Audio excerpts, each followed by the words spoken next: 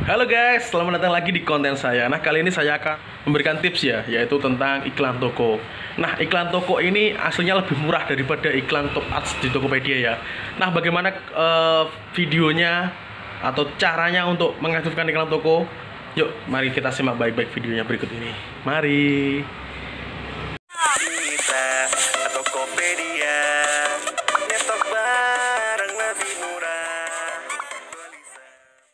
Ya, sebelum dimulai jangan lupa subscribe dulu ya channel ini supaya bermanfaat buat teman-teman dan supaya channel ini bisa lebih berkembang lagi. Nah, langsung aja kita masuk ke Tokopedia seperti ini ya. Kita buka di cek Tokopedia seller ini. Kita tunggu sebentar dan setelah itu kita buka iklan dan promosi ini ya terus kita pilih top ads dan di sini ada iklan produk, iklan toko, iklan tanpa modal dan rekomendasi. Nah, di sini kita akan mempelajari tentang iklan toko. Nah, bagaimana cara membuat iklan iklan toko ini ya? Nah, ini caranya seperti ini. Ini saya sudah membuat dua ya. Ini hanya mempraktekkan iklan toko. Nanti penampilan iklan toko itu ada di mana nanti saya berikan ya tip di, di di halaman Tokopedia-nya. Nah, kita langsung buka di tambah iklan toko seperti ini. Dan kita di sini ada beri nama ya. Nama iklan tokonya yaitu kalau ini musim Ramadan kita buat tas lebaran aja. Kita ketik. Terus di sini ada produk ya. Kita pilih produknya itu eh, sesuai tas lebaran. Ya, ini saya kasih beberapa tas aja ya. Bentar pelan-pelan.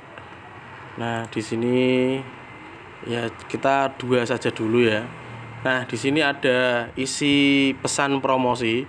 Nah ini pesan promosi yang di bawah ini ada rekomendasi template ya. Kalau saya biasanya pakai yang ini. Kalau enggak gitu seperti ini. Mau beli produk lokal berkualitas cek toko Semek Kudus sekarang. Nah seperti itu. Nanti tampilannya seperti ini di web maupun di versi HP seperti ini dan web seperti ini. Nah, di sini ada kata kunci. Biasanya kalau kata kunci ini saya tambahkan sesuai kata kunci itu sesuai apa namanya ya, judul ini ya ya. Kalau rekomendasi dari Tokopedia itu kayaknya saya kurang cocok. Nah, saya pengennya nah sesuai ini aja untuk judul produk kita aja ya. Kita sesuaikan tas lebaran terus kita tambah klik seperti ini. Terus apalagi ini? Ya bag lebaran bisa. Paper bag lebaran. Terus kita tambah. Karena paper bag lebaran ini paper bisa dibagi dua ya. Paper spasi bag spasi lebaran. Nah caranya seperti itu.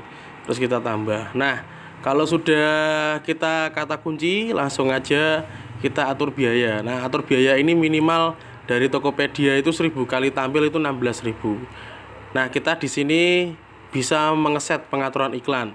Pengaturan iklan ini ada dua yaitu jadwal tampil. Nah kalau ini ada selalu tampil ini tidak ada akhir ya. Ada itu dari awal sampai akhir tidak ada eh, selesainya kapan Terus yang kedua ada atur jadwal. Nah, atur jadwal ini bisa diatur ya, mulainya tanggal berapa, terus sama jamnya berapa. Terus di sini ada selesainya. Kita buat satu bulan, satu minggu terserah kita. Nah, ini saya buat satu bulan, terus ada jadwal selesainya sampai kapan. Dan anggaran harian ini tidak dibatasi. Maksudnya apa tidak dibatasi itu sampai iklan top as kita habis. Misalnya kita ngisi 100 ribu ya, nanti sampai habisnya 100 ribu. Terus ada iklan yang namanya anggaran harian. Nah ini per hari dari Tokopedia sudah direkomendasi yaitu 48.000. Nah, kurang lebih seperti itu. Kalau sudah kita klik iklan iklankan seperti itu ya. Nah, contoh iklankan saya yang seperti ini. Nah, ini ada tas lebaran tadi yang sudah saya buat. nah, ini nanti tampilannya seperti ini ya. Ini per klik atau per tampilan itu 12 rupiah. Lebih murah daripada kita pakai iklan top ads ya. Ini lebih murah. Kalau saya lebih suka yang ini. Ini ini paling murah menurut saya sendiri. Ini baru habis. Berapa ini? Baru habis. Klik ini 27 ya. Tampilannya cuma 350 dan kita habisnya cuma 6 ribuan. Ini baru satu hari itu sudah 6 ribu. Nah di mana sih tampilnya iklan toko ini? Nah kita lihat. Kita buka di Tokopedia sellernya kita klik tas lebaran. Kita enter. Nah kita munculnya di atas ini. Nah ini paling atas sendiri yaitu toko kita. Ini ada tas lebaran.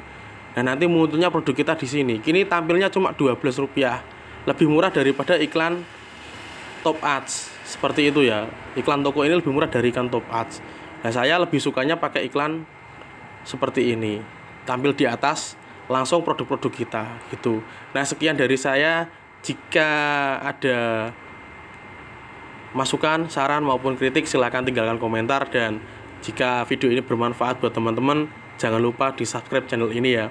Dan jika videonya bermanfaat tadi juga tolonglah di like dan di share sekian dan sampai ketemu di video selanjutnya. Terima kasih